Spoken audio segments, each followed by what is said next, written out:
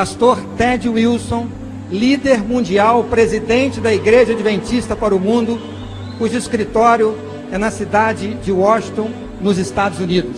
Seventh day Adventists, as a church and as individuals, should never be involved in ecumenism.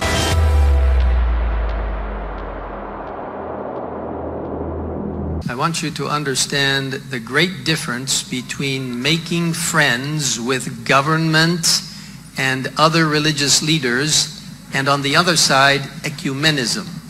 Seventh day Adventists, as a church and as individuals, should never be involved in ecumenism. Seventh day Adventists, as a church and as individuals, should never be involved in ecumenism. Never be involved in ecumenism. Apresentar os líderes da Igreja Adventista para o Brasil, para o Estado de São Paulo, América do Sul e o mundo, que estão aqui à frente nesta tarde, e eles irão homenagear as autoridades civis e eclesiásticas que estarão participando desta festa. Eles irão homenagear as autoridades civis e eclesiásticas que estarão participando desta festa. Eles irão homenagear as autoridades civis e eclesiásticas que estarão participando desta festa. A partir do momento que eu os apresentar, gostaria que ficassem em pé e estender a sua saudação para todos os nossos amigos.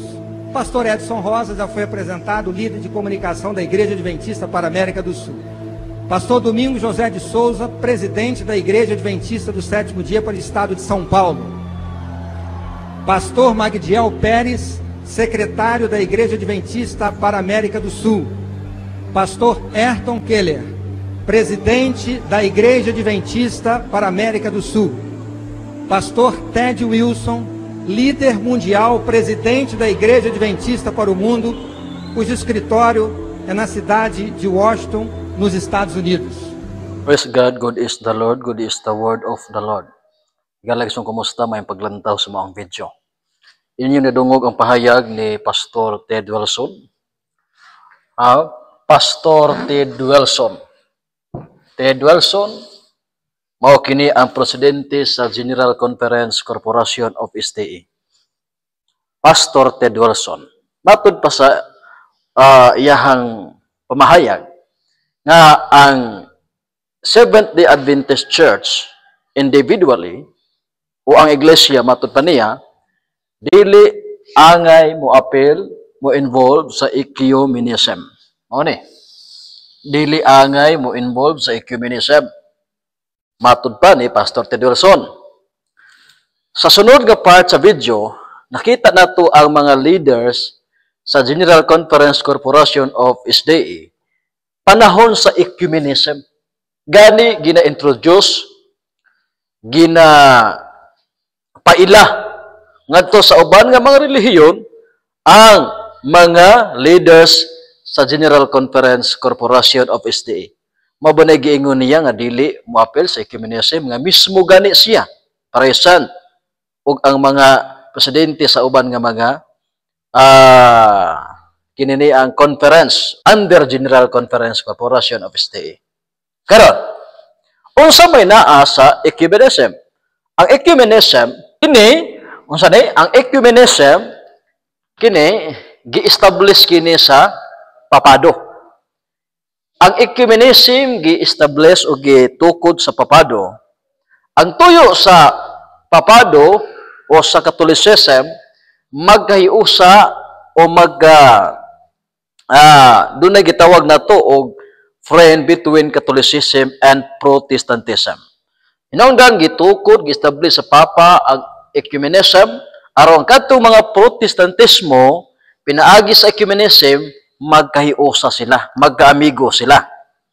Mato pa sa unang argumento or unang pangatarungan unta ni Ted Wilson nga usab-usab ang iyahang uh, prinsipyo, dili angay ang Seventh-day Adventist Church, matod pa niya, dili angay mo apel sa ecumenism, pero may apel mismo siya naa sa maong ecumenism ug uban pang mga presidente. Tungod kay usa kini ka gitawag Christian unity, no? Tanang relihiyon ecumenism, no? Na adre involve ang tanang nag-angkon nga Kristohanon ug kini ilhanan sa panagkayusa. Mo na ang ilhanan sa ilang panagkayusa sila panagkayusa kining cross mga higala kay sunan. Ato na nang discuss. Usa pagit ang naa sa ecumenism? Involve ang ecumenism sa gitawag pagpamatay sa mga inosente.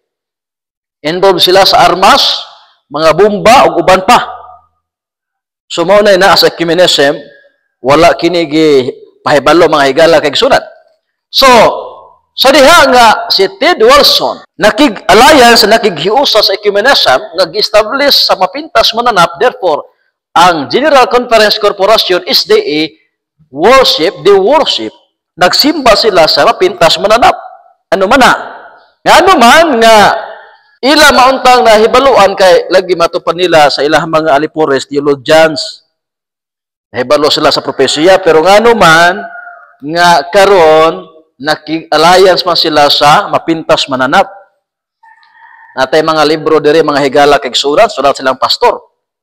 The last warning matud pa sa libro, giadmitar din he. Mao di ay dunay mga 70 Adventist maigo sa ampak. Ani po nga libro Pentecostalism by Daniel Scaron. Sa page 12, giadmitar po even ang mga Pentecostal involved sa panaghiusa o niya, dugang paniyana, sa libro nga gitawag og Vicarious Philadelphia, sulat ni Ferrell, sa page 92, ang official logo sa General Conference Corporation of SD is na cross. Kana di ay is simbolo na sa ancient symbol sa mga pagans, mga pagano. Busa, Ah, dugang pa nga kaligunan. Doon na po agna si Sister White na sulat sa libro nga SDA Believe, no? nga ang taga ni Sister White gibutang diri sa page 256 nga magkahiusa gyud ang Catholicism ug ang Protestantism. Okay. Tanan nga mga in, tanan nga mga gitawag nato og negosyo sa SDA General Conference nga naa sila mga armas, bomba, naa ani nga libro. Okay? Unya, matod pa sa libro sa Katoliko, sa Katolik Questionan siya, sulat silang pare nga si Dietzen. Kini din gitawag nato ecumenism mga higala kay suunan. Uh, ecumenism din higi uh, pahayag aron nga mahimong one religion ang tibuok kalibutan. O sa, sa Roman Catholicism by Daniel Scaron sa page uh, 23 giadmitar silahang mga leaders nga ang Adventista nga General Conference is similarity kapareha na sa Iglesia Katolika doon ay mga doktrina nga pareha na sa Iglesia Katolika sa libro sa mga gitawag og Religious Freedom by uh, Roger Caderma sayang libro diri nga gisulat mga igsunan sa page uh, gitawag nato og uh, kinini ang uh, 17 og uh, page uh, 48 unya 49 giadmitar nga unsa involved sila nya mato pa sa maong libro kang kaderma doon ako na makuha nga maayong resulta sa panagayusa sa ecumenism. Busa sa last day events gibawalan ta ni Sister White. Na dili makiglamano sa mga kamot sa papado. Kaya sa diha makiglamano na kas papado musunod ang panagayusa.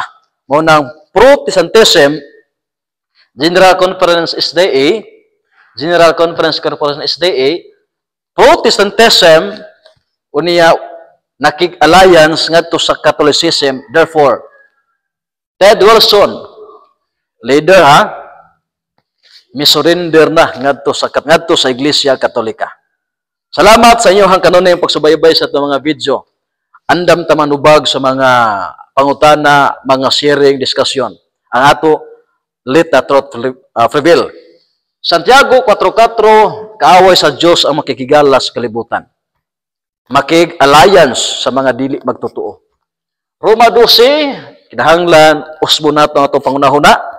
O niya, Matthew 4, Matthew 4, remember, sa panahon nga gi sulayan ni Satan pag tintal ang ang Ginoong sa Kristo wa gayud mo sugot o wala gayud nagbadaogon ang setan anya matupan ni setan kung musimba ka nako ihatag nako kining gingharian kining mga kalingawan sa kalibutan. Si Kristo nagpabilin sa ah, gitawag nato og ah, iglesia niya ang iglesia kinahanglan magpabili na sa putli nga doktrina o putli nga baruganan dili angay ipasulod ang mga kalibutanon nga practices o ang mga pagan practices. Daga salamat niyo ubos nga igsoon Brad Warren Desirel magaingon.